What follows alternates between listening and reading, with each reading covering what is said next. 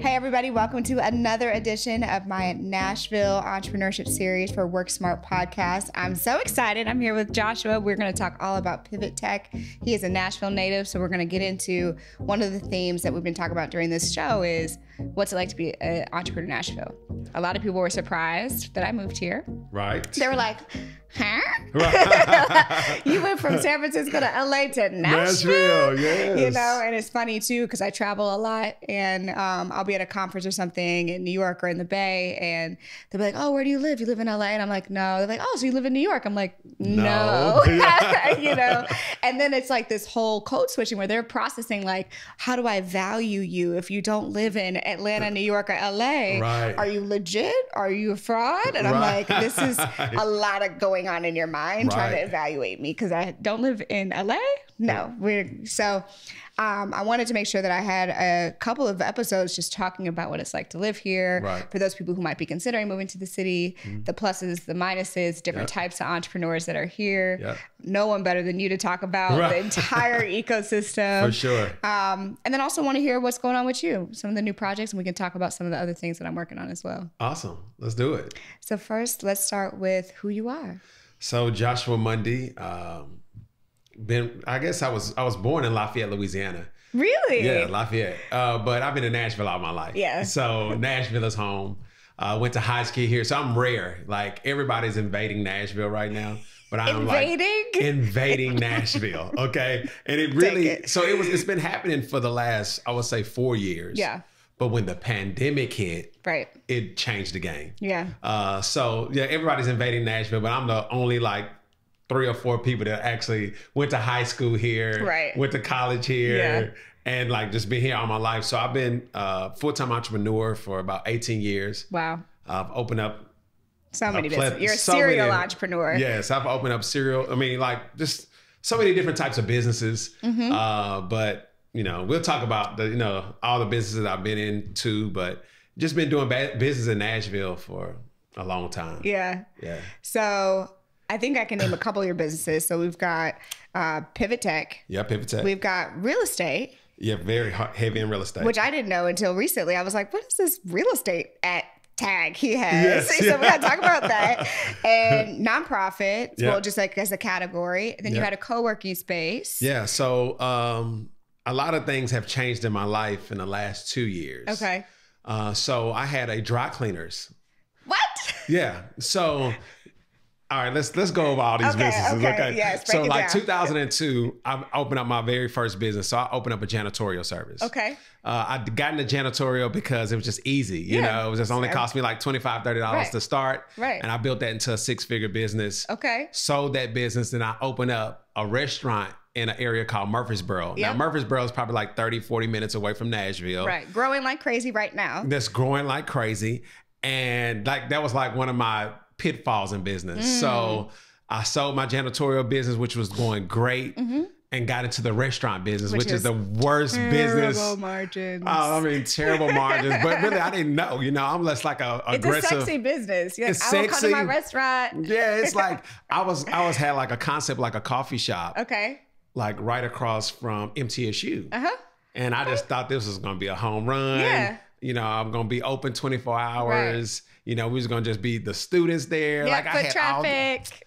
all these elements. Yes. And if you look in uh, online or Google in Uh-huh. the Guinness Book of World Records, like the fastest opening and closing of a business, Yeah. you'll see my face. I was open for 30 days, literally Oh, and no. spent probably like a quarter of a million dollars Bro. in that. So I was like very young. So I was like Oh 24, God. 25. And I was in real Thank estate God you were then. young and you could bounce back. But so literally for like three years, I was trying to figure it out. Yeah. Like I lost all this money. Ugh, I sold a good, profitable business. cash flow, cash, Cash flow in flow. business. And I got into this. So like from 2005 to 2008, I was just hustling. Yeah. Just trying to figure it out because Totally. I made that vow like to God. I was like, man, look, no matter how hard it gets, I'm never going to go work for anybody. Mm-hmm. So I just hustled for three years. 2008 comes Mm-hmm. and I see this building on the corner of 7th and Jefferson. Mm-hmm. So Jefferson Street, for your listeners, it's a very historic area. Mm-hmm, Uh, has three HBCs, HBCUs on it. So Yeah. you have Fisk, Meharry, TSU. Yep.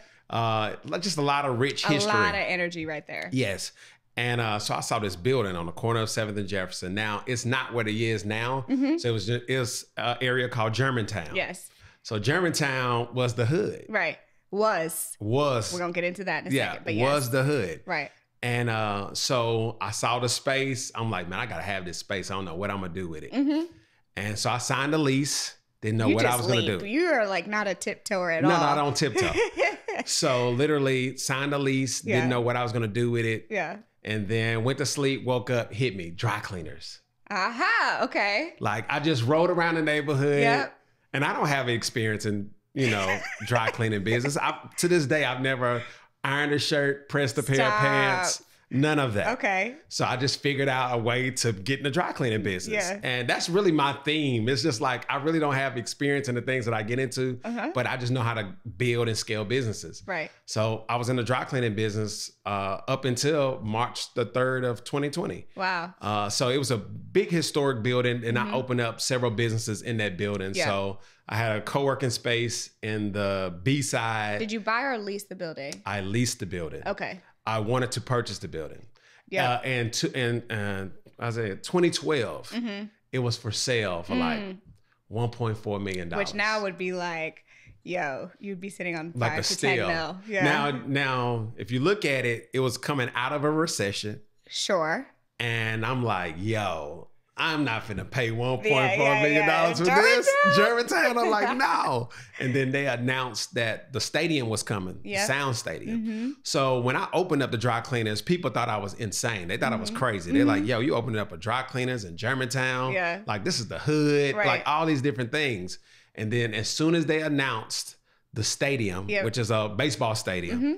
then my business just took off. Right. Now I thought I was crazy too. Because I'm like, we were struggling, trying So to you had figure to buy out. the machines. No, I You didn't lease do any of that. Mm. How does a dry? I don't know So- anything about it. I've looked at it. I'm like, should I do this? So let me give you, uh, you know, I'll give you the dry cleaning game. Tell okay. me. So I thought so too. I was like, man, I'm gonna go buy the machines. Yeah.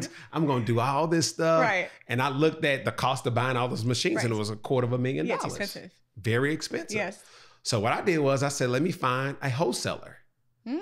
So what you do hmm. is, is that so it was a guy in town. He had the biggest warehouse. He machines. had all of the machines. He had always all a guy of, in town. He had all of the workers. wow. And all we did was I negotiated a price. so it's like a white label. He had like a It basically was a like white a, label. it was like a white label, business. white labeling system where he gave me a wholesale price. Yes. So it was wholesale to retail. I was just the middleman. So pretty much, So you people- drop off your clothes. They would drop off their clothes early in the morning. Yep. Then We would put the clothes in the bag, put them on the van. My driver would take it to the warehouse, clean them, wow. bring them back. My team will sort them, bag them up, and that's it. I so I didn't it. have any overhead. Nope. Like my overhead was very minimal. Yeah, just I just had a lease. lease and my driver. Yeah. And somebody working the front counter. So where's And- dry cleaning business now? Okay, so we're gonna get to that. Okay. So um pretty much I was I mean was doing very well Uh-huh. with that dry cleaning business. Yeah, that sounds like a good one. Oh yeah, we was I was making great money. Yeah. I'm talking about great money. And uh so ran that March the 3rd, 2020 Yep. is uh, something that really changed my life Yeah, pretty much forever. city. Yeah. Uh and the city Mhm. forever. So uh let's and we'll we'll build up on that. So 2019 Mm-hmm. just doing business in the city and i'm always a part of all these they pull me to be a part of all this leadership this Yes. and Well, they need some black folks. So yeah yeah yeah so the chamber this Yes. and like i'm a part of a lot of different things and uh so we were really going to like study everything nashville had going on Mhm. from education Yep. crime and safety economic development all these things Mhm. and then we traveled to austin texas Mhm. to study what they had going on Mhm. and bring some of those ideas back to Nashville. Mhm. So at the time, we were going to all these technology hubs. Mhm. I'm talking about like so many tech technology hubs. Yeah. People were coding, building apps. yes, I looked around, there were no black people. none. And then the whole city, I didn't even know the city was like this. Mm-hmm. The city is white, white. Mm-hmm. Like it's no black people. And at- leadership. Yeah. just in general. Like I'm just looking for the waitress to be black. you know what I'm saying? The bartender, you know, yeah. the bus boy. Yeah. No black people Right. at all. We was the only black people I saw on the whole trip. It was like six of In us. In Austin? In Austin, Texas, not during uh, uh, South by Southwest, not during that time. fair. We're talking about a regular Yeah. Austin day. Yeah. Well, black It- Uh, people in Texas live in Houston and Dallas. Now there's a little sprinkling in Austin yeah, for sure. Yeah. yeah. So literally, I looked around, and they we was going to all these like co-working spaces that Mm-hmm. looked like my co-working space, and uh, so I literally looked around. I was like, you know what? I'm gonna open up a technology school Mm-hmm. when I get back to the city. Mm-hmm. So this was in 2019. Mm-hmm. Came up with the name Pivot Technology School Such a good name. in 2019. Right. Okay. Uh, so worked on this concept idea all the way until uh, And Mar- it's reskilling, right? yeah. So we'll we'll talk about pivot. Okay. We'll get in depth, but it just this this culminates the story. You know, Okay. so I got to tell you the story. on gotta the just. I'm we just gotta, we gotta lift it up. You know. so literally, we worked on this. Got with my current business partner who has the tech background, Quan Mm-hmm. Clark. I don't have a tech background at all. I don't know how to code. Don't know any of that terminology. I learned it along while building it. Mm-hmm. And so March the 2nd, I convinced people, hey, this is something Josh is doing. Now, Josh ain't in the dry clean. Josh is still in the dry cleaning business, but I'm in the tech business too. So people like, yo, This too much, but it's okay. dude, you're doing too much, Josh. you all over the place. But I'm like, no, I'm not. yes. So March the 2nd, very first day of orientation. Mm-hmm. March the 3rd was the very first day of classes. Mm-hmm. March the 3rd uh, was the great tornado Yeah. that hit my location on the corner of 7th and Jefferson.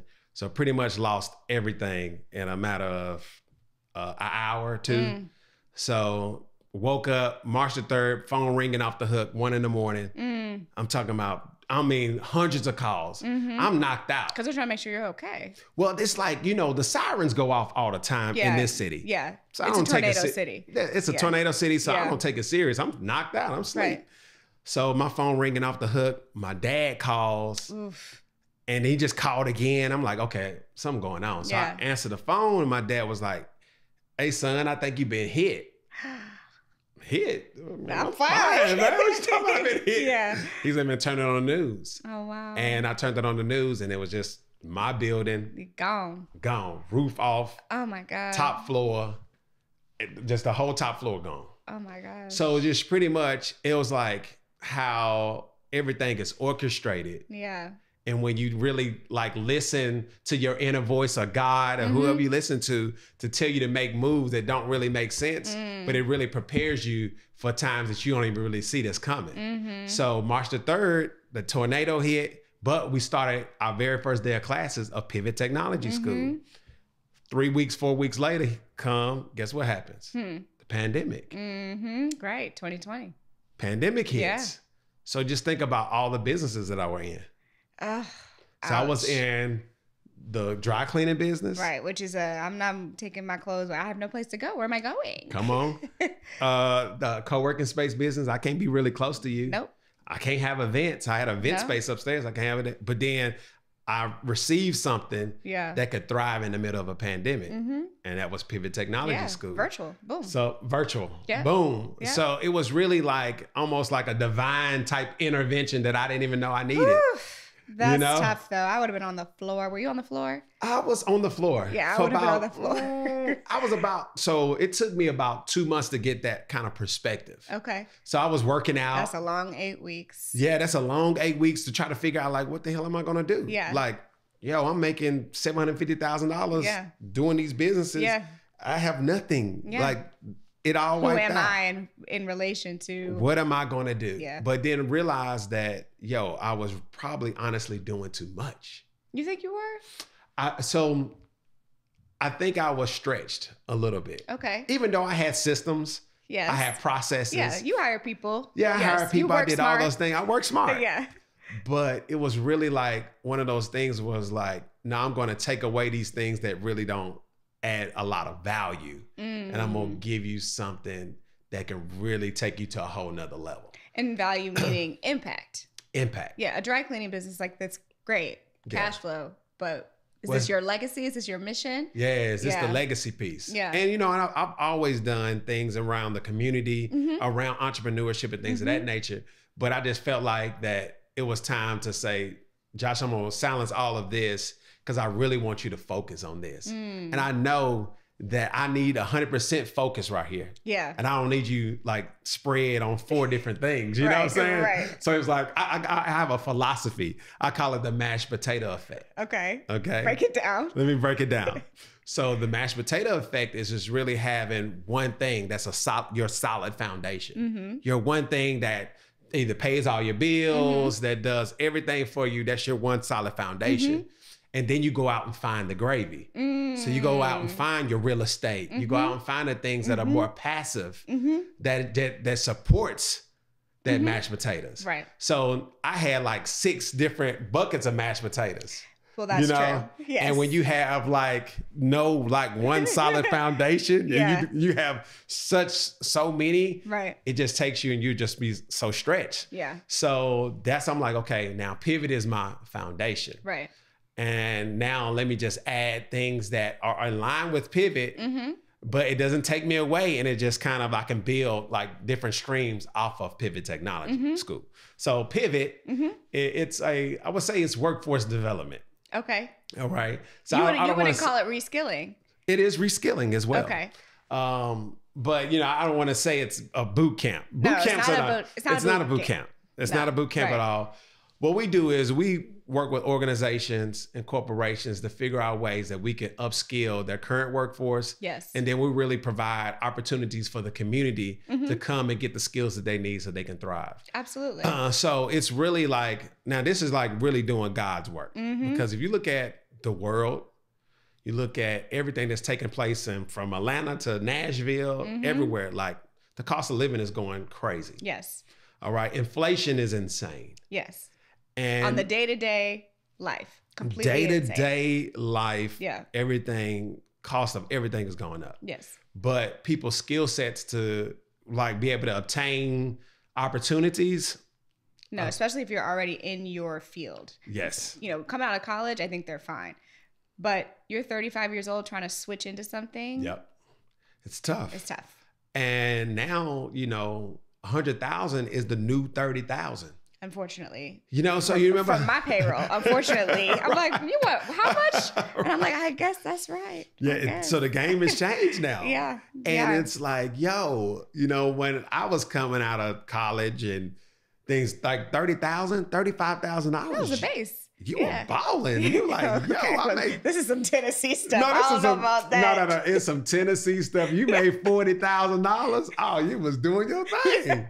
and then I'm telling you, and then time, slowly but surely. Everybody in here is laughing, by the way. No, I'm telling you, thirty thousand dollars in the early two thousands. Well, y'all was probably still, you know, I'm forty, so y'all was probably. I'm not that boo, Okay. no, but I hear you. but I'm just saying, like, you know, you Yeah. didn't really have to make a whole lot of money to have not like a 120. You thought at your peak you were going to make a $100,000. Exactly. That was like, if I can get to $100,000, wow. Right. Yeah. Like, no, that's the base. Now it's like, I'm 25,000 years old. I need to make $100,000. You got to make six Yeah, figures. yeah. It's like it's only it's the only way. Or dual income. Or dual income. That's the only way. So what we're trying to do, just from a community standpoint, is really work with organizations to pipeline these people that we're training into these opportunities. Right. So we're working with companies like Amazon, Shipt, Deloitte. What are the skills? Give me some examples of things. Uh, so are, or like the- the- courses or classes. Yeah, so the areas that we focus in on software development, so Okay. front end and back end. Yep. We want to create full stack engineers,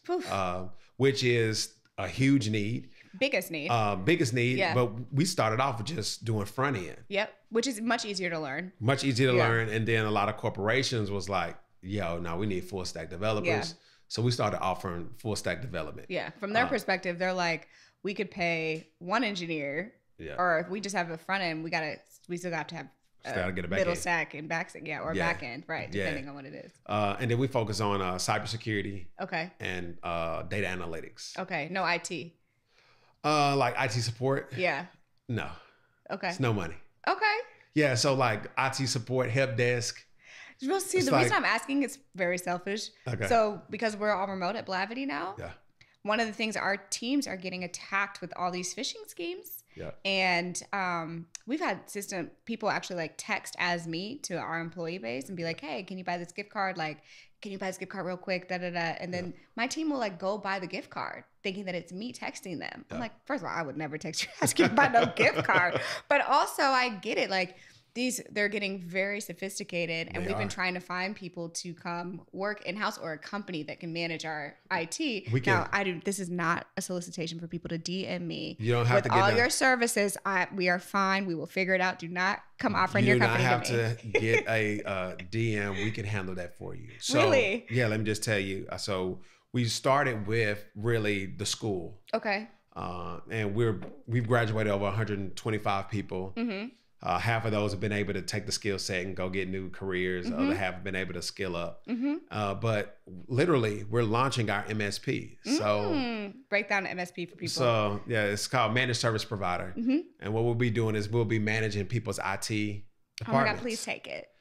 So we'll be 'Cause I feel like taking this company in New York way too much money. yeah, so we'll be taking your your Mhm. department and we'll be managing your IT department for you. That's so great. Uh, because we really want to create opportunities for the people that we're training. yeah. One thing I don't like to do is beg people for anything. Right.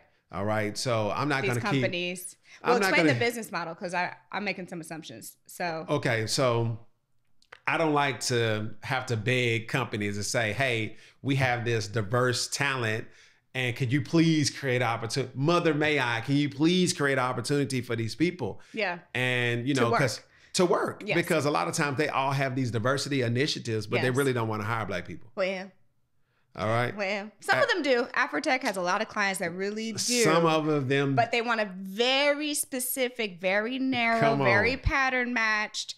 Like, oh, you went to you had this CS degree from this university, Yes. and I want you to be black. I'm like, well, that's just not a thing. You don't go to that university. right. So, So it is, yeah, you know, they just make us jump through a lot of hoops. yeah, you got to speak our language. You got to pass all these tests. all It's those things and then they really assume so when you say hey i'm working with the underserved uh, under uh, served communities Mhm. they like yo they don't have no degree they Well, barely can talk Yeah. they don't have soft skills And i'm like yo these folks got college degrees Yes. you know Right.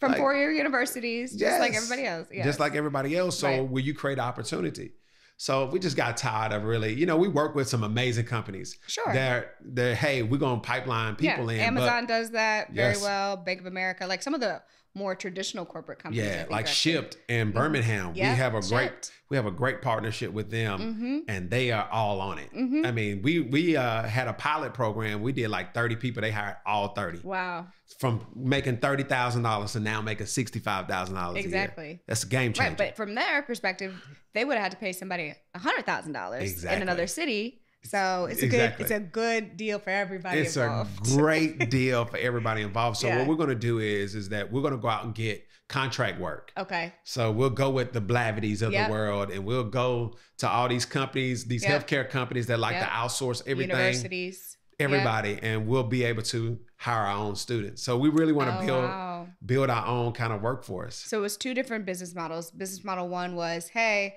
we've got a workforce, they're newly trained, hire them, and we're going to take a recruiting fee effectively. I'm, Yep. I'm guessing. Yep. 10%, 15% of the first year's salary. How did you break Um, it down? So what we do is is that our, our school is tuition based, Okay. so people have to pay to come to the school. Sure. Uh, or if we work with a corporation, a corporation may say, "Hey, we want to pay for 15 slots," Great. and then, "Hey, we want first right of refusal On all To- these graduates. on all these graduates, Perfect. and then we'll see which ones we want, Yep. and then you can, you know, we, you know, we got five of them we want, Yeah. then you can market the the 10 to Right. the community, you know. Great. So that's kind of like the business model. okay. Uh, so tuition, uh, placement, and then corporate corporations is really what we want to hang our hat on. yep. So we were uh, like a B2C Right. in 2021. That's tough, but yes. 2022, we Yes. are B2B. I hear you. So we're B2B. Team B2B. Oh, yeah. business to business. Yes. So we're we let B2B foster yes. B2C. Right. So when we develop a corporation partnership, Mm-hmm. they'll foster and say, hey, we're going to pay for 30 people to go through the program. Yep. Help us recruit or help us find these people in Yeah. the So community. it's a much easier sale. It's You a say, much easier "Look, sale. Look, Jack, I'm gonna pay for you to go learn so that you can make more money. Who doesn't want that opportunity? Exactly. So it's a lot of people that really want these type of opportunities. Mhm. It's just now they can't afford to come to my school, and I, Mhm. we can't afford to do it for free. No, And we're not a. this is not, non for profit. This is a not No. a non for profit. We are a for profit organization. Yes. We do have a nonprofit arm that does the community work, yes. but you know we just want to be able to say, hey, corporation, here is here's what we have. Right. Cut a check, Yep. And we're gonna foster and, and train up all this diverse talent that you're Whoever you need. right. Okay, so then now the new business model is that um, you're able to say, okay, we've got 10% of our graduates immediately get placed. Great. Yep. 20% go off and do whatever they're going to do. Yep. Now we still have a bucket of people who have work. They're very qualified. We know they're qualified because we just trained them. Yep. So why not just take out the middleman and we're going to offer this service directly? So Yep. did you start another LLC or are you keeping it all the same? No, we created a whole You know, I like to LLC. get into it and work smart Yeah, yeah, yeah, yeah. because So the we, people need to know. we created a whole nother LLC. Okay. Uh, we didn't want to commingle the funds. so y'all know what commingle? Yeah. phrase Yeah. for entrepreneurs. Do not Commingle commingle your your funds, funds. or your legal entities because that's also how you get not protected. If you get sued for Pivot Tech, the other business income is at risk. You better believe it. So if somebody says, "Hey, you know, you all didn't give me the education that I wanted and needed, and all Yeah, this other stuff. I didn't get a job. I didn't get a job, and we don't make promises." Of course not. So you know, if they sued the school, Yep. then our MSP dollars Right. would get tied into that. That's right. So th- what we make on the MSP, we don't want to put it in the No. Pivot Tech school pot. Correct. So we want to keep that separate. So we set up a whole nother LLC. hmm We're officially launching. We've already we already have clients uh, already, but we haven't announced it to the public yet. Okay. So you hear it here first.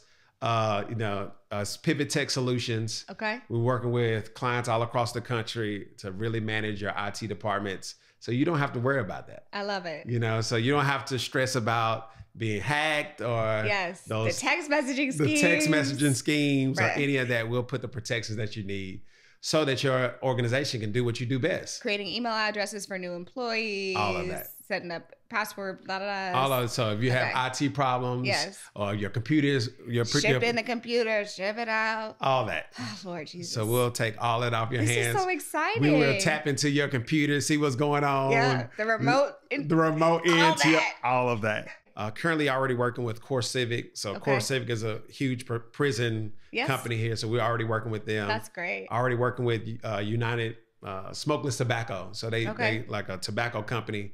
I've Uh, never so heard of them. so they all the dip. Uh huh. So you probably you don't know anything about that, but dip smoke, like but- people that smoke, Uh huh. they have the huge. Is that man- the thing that? yeah, that they put right yeah, here, like the uh, baseball players. Yeah. So it's like a cousin a who does that. I was like, what's wrong with him?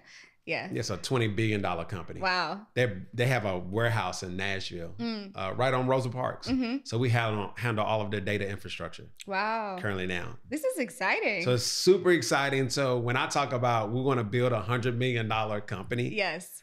Like the There school, but the MSP is really where we're Yeah, the school is your now your your workforce pipeline, and people are basically just offsetting your costs to build your own workforce. Come on, you see it? Come on, work smart. Come on, work I love it here. Yes. This is so incredible. Now, Yes. y'all, if y'all want to steal his model, make sure you talk to him first. Please But, talk to me first. but you can steal it if you want. There's so many, so many people who need to to get these types of jobs. is exactly so. You know, I, I was I say, man, I, I share the game. Mhm. I share Yep, information. It's a lot of work. Yeah, it's a lot of work. You know, if you can do this, then great. You know, God, power God you. bless you. More Yes. power to you because the hell we went through trying to figure out everything. Yeah.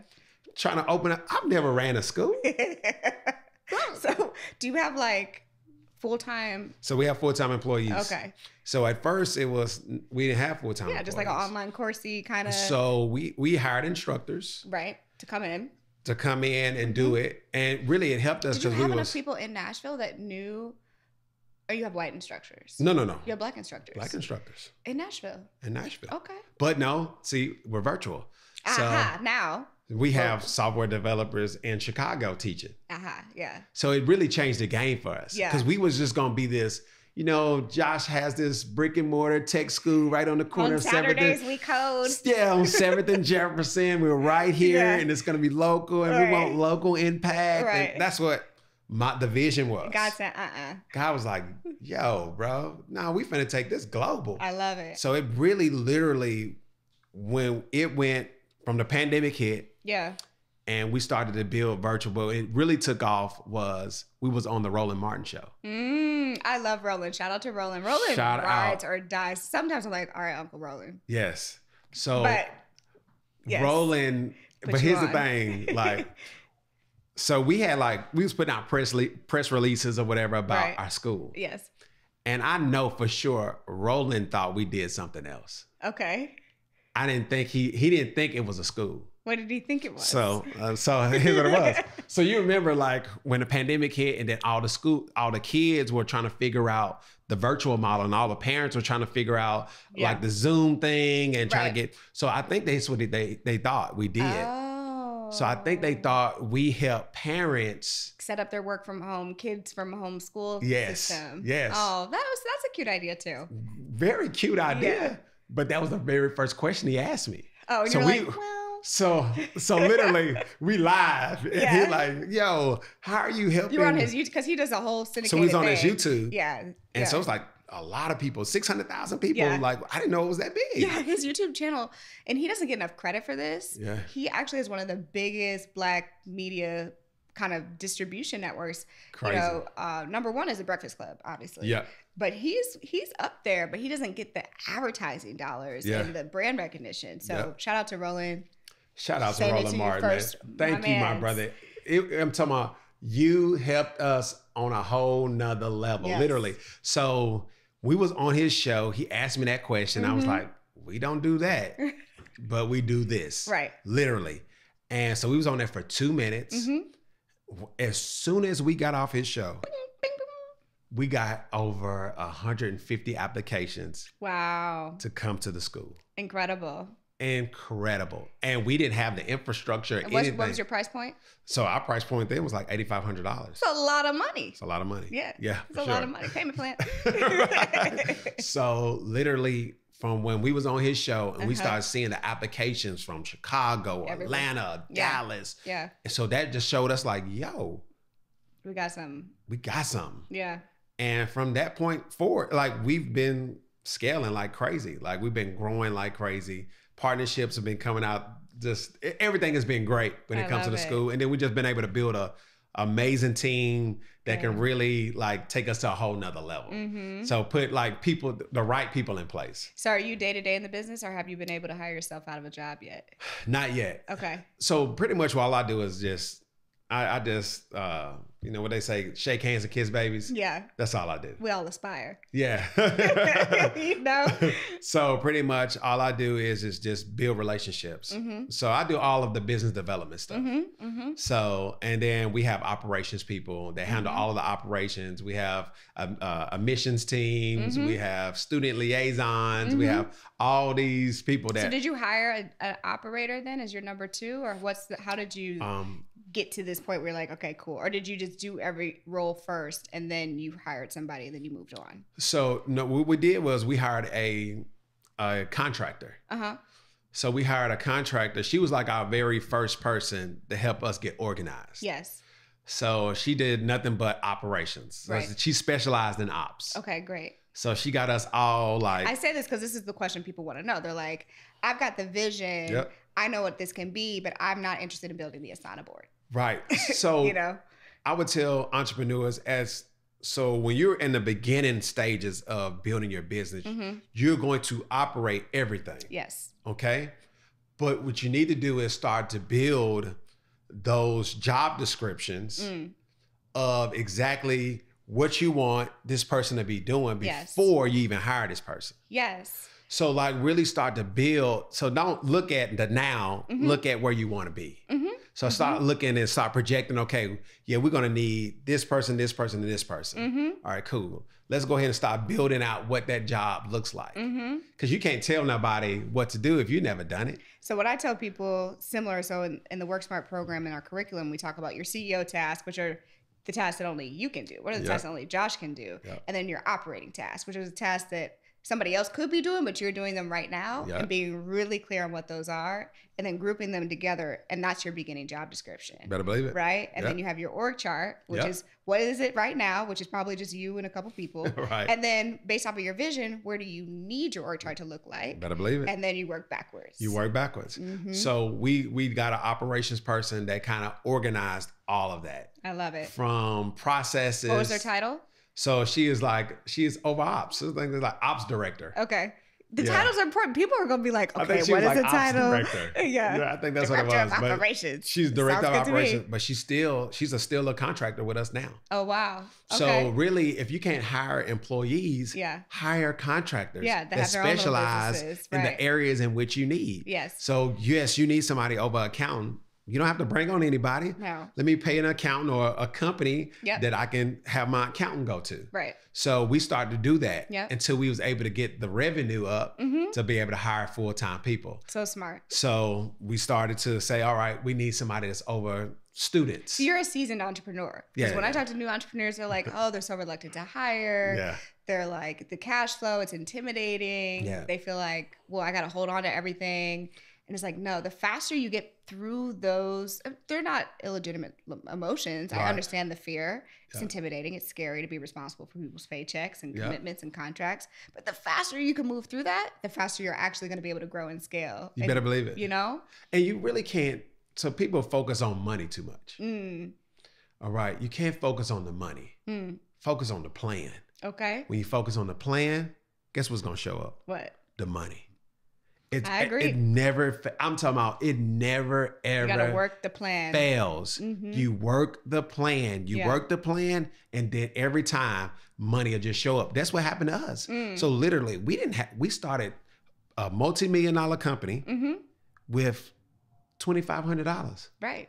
We had no. We did. we You didn't- were the money. You were the first employee. We were the money. We didn't start with anything. And Right. every time, literally, every time that we had to pay an Mhm. instructor to teach, Mhm. money just showed up. I cannot make this stuff you up had the right plan at the right place at the right time. at the right time. But even if you had started this three years ago, I think you would have had the same outcome because Probably. the industry is growing so quickly. Yeah. It- it is such an underserved uh, part of our community. Yeah. People can see, yo, other people are getting money over here. right.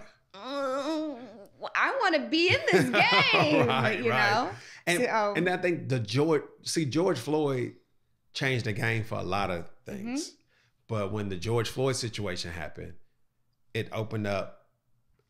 I don't know if I can say white guilt on your podcast. You can say white guilt on my podcast. But white guilt kicked in very strong. we had a window of opportunity. we had a window of opportunity Yes. to really seize seize that moment. yeah, And so literally, like, so we and would get just get contracts. That's my thing. yeah, Get the contracts. get the contracts. So we were just randomly getting checks. yeah, We were literally randomly I love it. getting checks. And th- again, we weren't focused on like, yo, we gotta go make payroll. Uh, and we was having those conversations. And we know we had emergency. I had to like, man, I can go dip in my money. over Yeah, here. yeah, like, yeah, you yeah. know, You know, we can shuffle. We can shuffle some money. Uh, but we really, you know, just focused on the plan. Yeah. How do we become the best technology school in the world? Mm-hmm. And every step of the way, we just started to do that. We just started to focus Mm. on that. Okay, Mhm. How can we make the student experience better? Mm-hmm. Because the last group, you know, they had Outcomes weren't so good. outcomes. You know, attrition was horrible. Yes. All right, how can we start developing? Okay, now we need a student Right. liaison. So you focused on realistic, data-driven problems, and then just solve those problems. I think that's the other thing is, Yep. as entrepreneurs, we tend to be very ambitious and have all this. Well, we got to do this. We got to do this. We got to do this. And it's like, okay, but what's happening today exactly. in the business? So I think Yeah. that's a, a skill set that you have that other people. Yeah, you know, on. it's just really, uh, I would say my superpowers. I'm not scared to fail, Right. and I'll take. I'm risky. Mm-hmm. I'm very risky, Mm-hmm.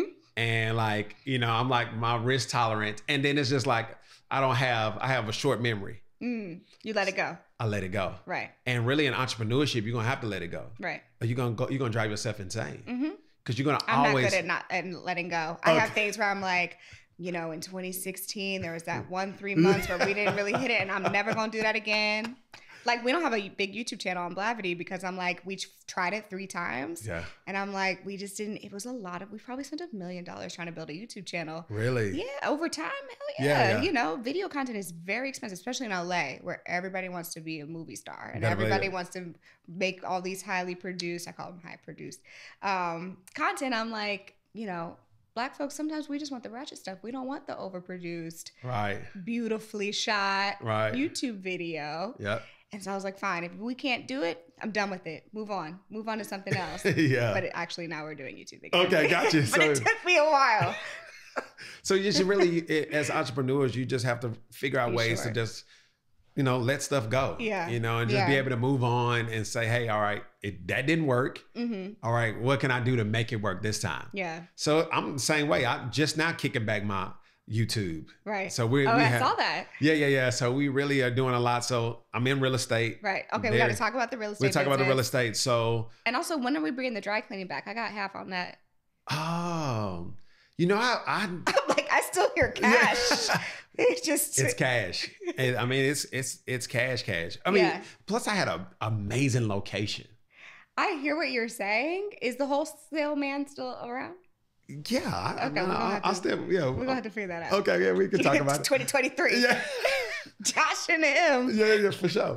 We can do it. Like it's Sounds it's- like this is storefront to me. yeah, it's it's, it's cash. It's Cash flow. Okay, Cash anyways. flow. So now It's y'all crazy. heard it where it's coming from. Real estate. How did you get into real estate? so real estate. I started buying real estate early. I had a guy that I used to work with. My very last job, he was buying real estate in Nashville. Mhm. He sold me my very first house, Mm-hmm. And that's when real estate was super cheap in Nashville. 50K, 100K. Yeah. 200K. So literally, I bought a piece of land for three thousand dollars. I bought a house for forty thousand dollars. I bought another piece of land for like $18,000. So you're doing residential. So I residential, Okay. all residential, and um, so I really just now kicking back up Mm-hmm. to buy like a lot of stuff. So Tough market right now. not really. Tell me more. I'll You're the you more. second person who's like, it's actually not that bad. I'm like, what are you? What No, no, no. Are you on, and what So, Redfin am I on? Let's just talk about it. Yes. So Nashville is Nashville is super expensive.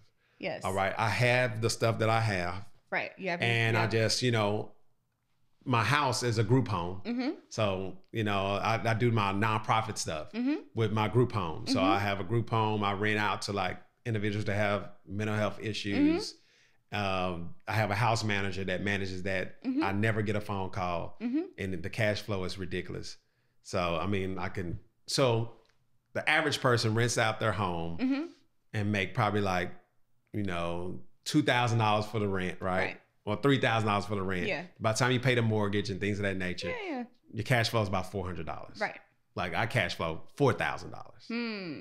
You Well, know, because you have multiple people and paying. In yeah, so it's like Do you have to have a special permit to do that? We'll talk about it off. Oh my Yeah, god. yeah. I you don't legal know. money. You don't. You don't. You don't. You don't. You don't. You it's just transitional housing. It's called transitional housing. Okay, housing. So you don't need a permit. So really, as my strategy is, is I want to retire in five years. I want to Mm. be retired in forty at forty five. Mm-hmm.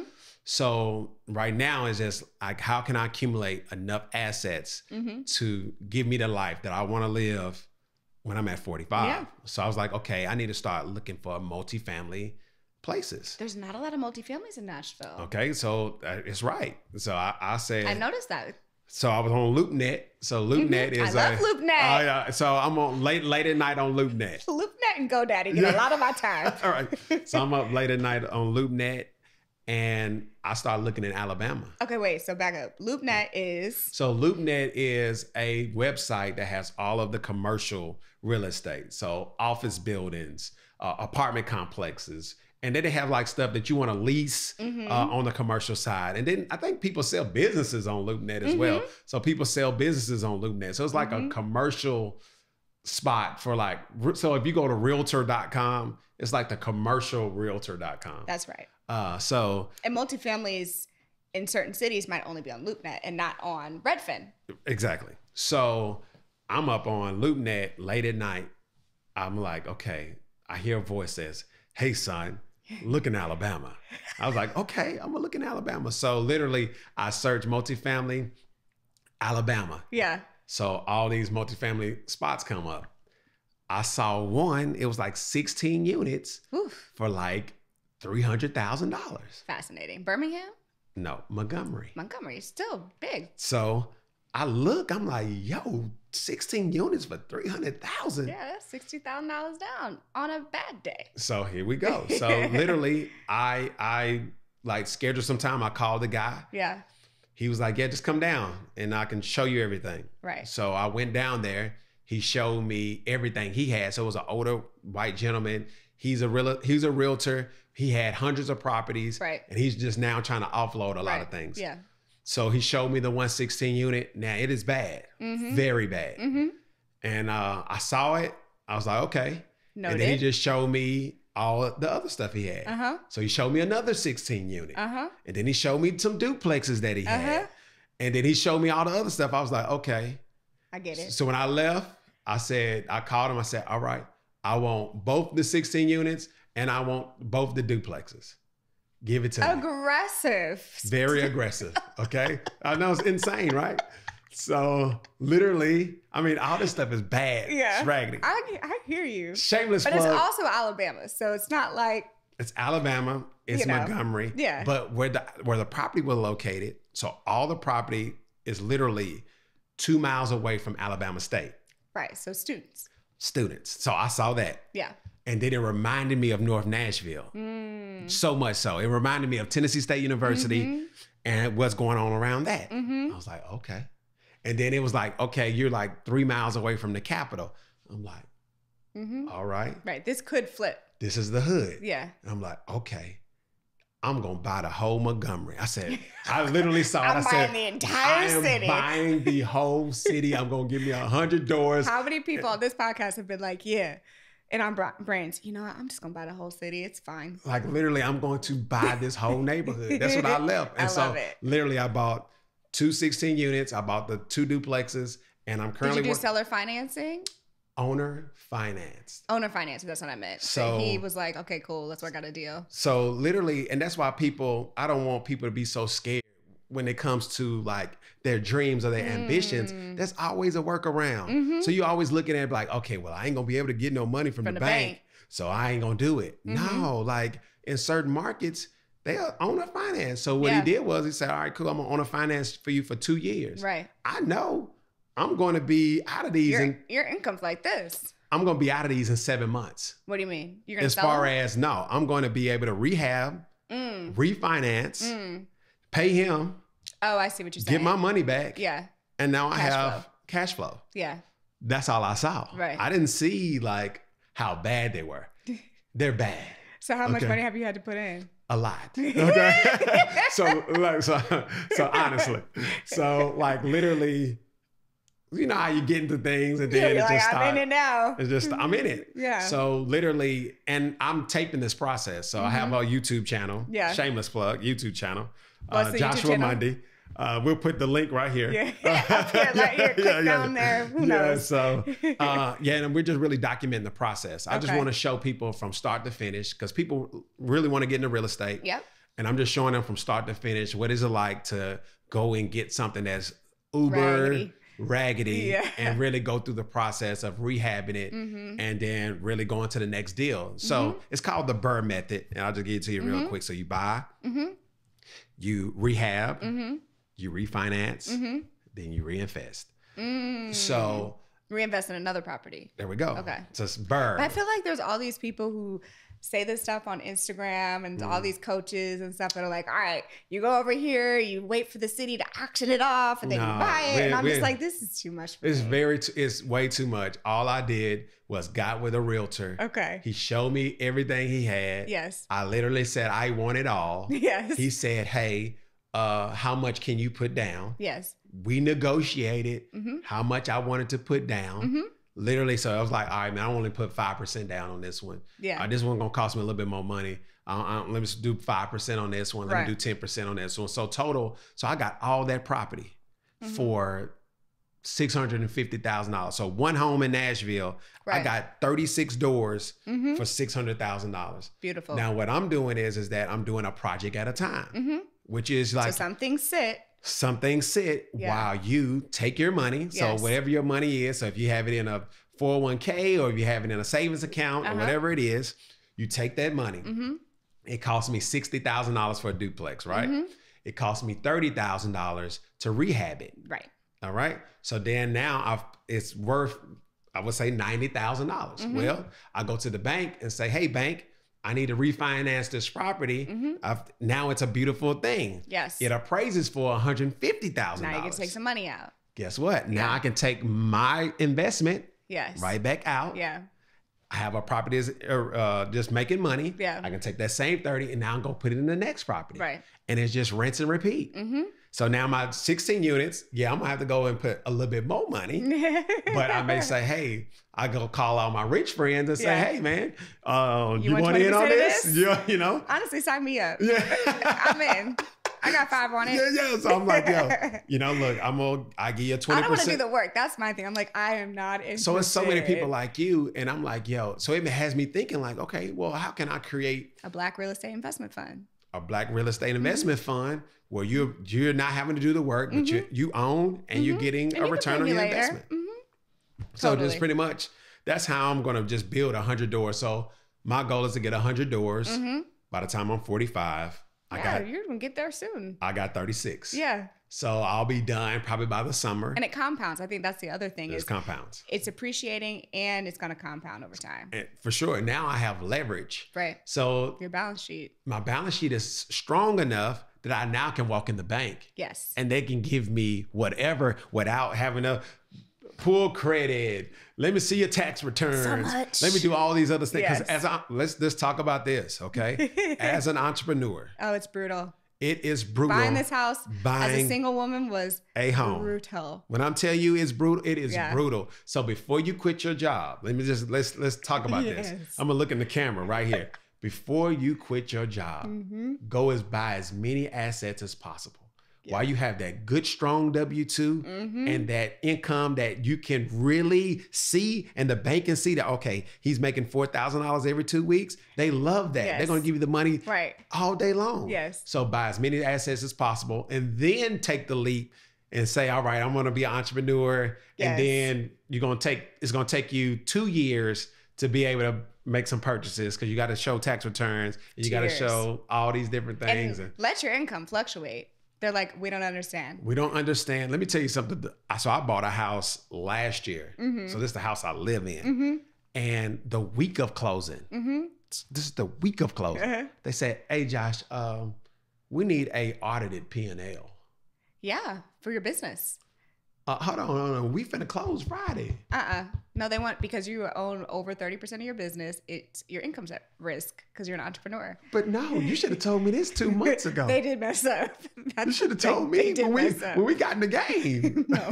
no, they said no. Look, we Yeah. wanted to audit. We want to audit yeah, the and P&L. So auditing financials is so much work. I had to pay three thousand dollars. How much? Three? Three thousand dollars for Yeah, that's honestly that's a steal. That's a steal. That's a steal. But the week of closing, yeah. I'm like, yo, Yeah. what we doing? So it's just those type of things as an entrepreneur that you really need to have in place and start thinking about. Okay, am I in my purchasing years, yes. or, or am I in my chill years? Right. Because that that's that'll determine if I'm writing off everything, Yeah. or if I'm gonna show some income. Yeah. Really, that means you just, You just don't think about those things. Yeah. So you heard it here now. So y'all can not have the same pain that Josh and oh, I have had going through the banking process trying to buy houses as Yes. entrepreneurs. yes, Or if you do have a partner, you know, who has a full time job, don't both y'all quit at the same time. Exactly. Right? Let one of you keep the W two, the stability. So then it's like, look, we got options here. We got Yeah. options here. Now, what are you doing in uh,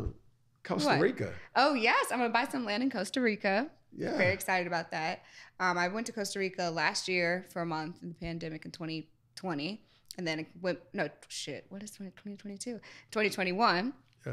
And now um, I just went back for about two and a half weeks and went to Puerto Viejo, Okay. um, Playa Negra, which is a black beach. It's on the Caribbean side of Costa Rica. Okay. So a lot of the land is owned by black folks, people who are from the Caribbean Wow. and it's beautiful. It's absolutely beautiful part of the country. It's very lush. I mean, you've got monkeys and sloths and toucans and everything just walking down the street. you know, you're walking down the street and you can see everything. You know, you're in the rainforest. You're literally in the rainforest and on the beach.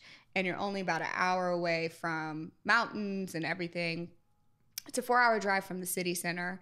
Um, so I'm gonna buy some land there, Yeah. build house, family house for like my parents, my friends, myself, so that I have a good place to just chill.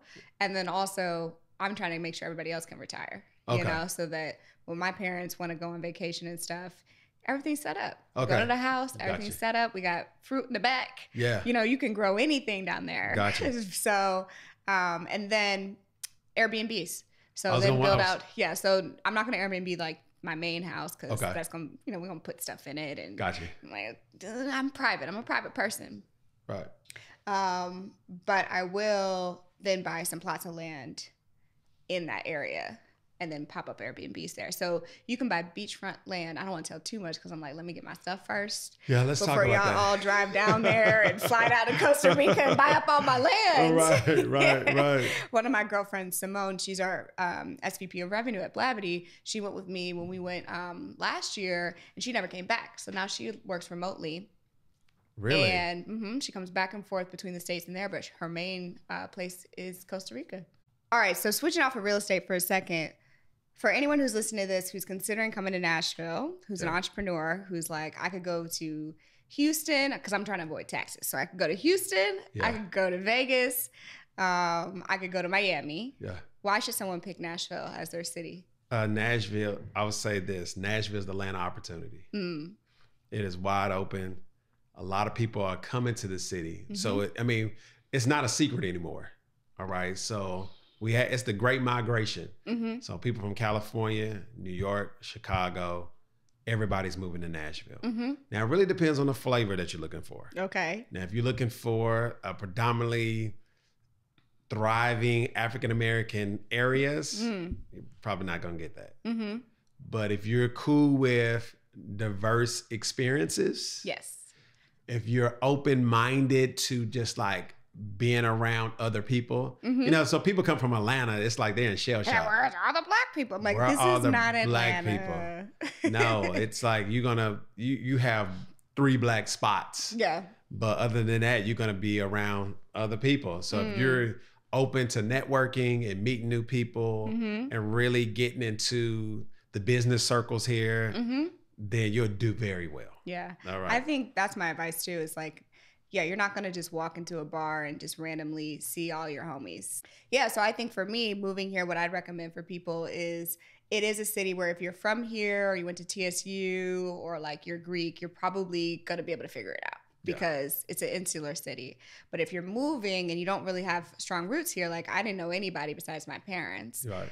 It is a little bit hard to navigate because you're not going to just pop up on a bunch of black people like trying to build something. You're going to see couples at dinner. You're going Yeah. to see maybe a group of guys at a bar. Like, That's but you're it. not going to see. You're not gonna get ingrained into the Nashville culture. Yeah, no. So I think you can like go to a- Minerva. You can go to know, but Minerva. no one's going to talk to you for real. Like, I mean, they'll talk to you, but Yeah, you you're know. not. But you're not going to like. It's not like Atlanta where you could go to the gathering spot and right. you're You're going to gonna like, find black professionals. yeah. But here's the thing about it, like, so Nashville is very, it's a melting pot. Okay. It is When a I- melting pot. So when I say is, is that there's no separation. There's no The haves separation. and the have-nots. It's everybody's together. everybody's together. And I like that, but other people who would come here They would be like like. I don't want to be in the mix where it's high risk and low risk, and Yeah. people don't have stuff to lose, and people have stuff to lose. That's what it is. So you're Yeah. you are on you're with the doc the doctor yeah, and the hood is Yeah. uh, everybody's having a good time same together. spots. Same spots. Yeah. So you really I think for don't. men it might be easier. For women, it's a little like, I don't know, what do I wear? Yeah, yeah. So it's just really about how to really navigate the city. Yeah. So first thing you can do is just go on Facebook and find, you know, Black Nashville. It's also a Facebook city. Other cities aren't like that. Yeah. So it's a Facebook and city and an Instagram city. You all have Instagram accounts that everybody follows. Yeah. And I was like, oh, yeah. So that's that's where you can find like what's happening. uh huh. and you can start going to events. And then Uh-huh. you'll realize is that the Nashville black circles are super, super small. Yes. Uh, and that's how you can kind of navigate the city. Mhm. But then from a business perspective, just connect with the chamber. That's the other thing. The Urban League and the Chamber are very strong here. Yeah. Which is really nice. Yeah, so you start connecting with the chamber. You start doing like we're a very give back city. Mm-hmm. So if you start to really start giving back and start getting involved and things of that nature, then you'll know everybody that you need to know, Mhm. and then everybody will start plugging you in. Mhm. They'll figure out what you do. A lot of text message. Hey, we're gonna come th- this night here. Yep. DJ over here. I'm like, okay, I'm getting a lot of texts. Yeah. so then you'll start navigating, and Yeah. then you know, then you have the all these new little bars that are popping yeah, up too. pull up. Yeah, pull up. and then that's Mac, just yeah. we're gonna go so, today. Yeah, that's so that's what happens, and that's how you can navigate. So Nashville is a great city, hmm and if you are black and about your business, you can make a lot of money here. Yeah, I definitely think you can make a lot of money. Yeah, but That's if you sure. if you like an introvert No. and come to this city, I'm an introvert, yeah, but you know, but you you're Morgan. yeah, so, so I it's can different. figure it out. You know what I'm figure- I saying? can, I can finesse the system a little bit. Yeah, yeah, you're, you're different. but if you know somebody doesn't have like uh don't know how to like navigate, then Yeah. it can be hard. But Nashville's a good city though. It is a great city. Yeah. All right, Josh. Well, thank you for sharing, dropping. I learned so much. The dry cleaning business, which I'm definitely not forgetting. We're definitely coming back to that. Yes. Uh, real estate, game, pivot tech. I mean, you dropped so many gems. So thank you so much. Appreciate you having me. us. Thank you so very much. All right, y'all. Make sure you subscribe, like, comment, all the things. Make sure you check out Pivot Tech, and I'll see you at the next episode of Work Smart. See ya.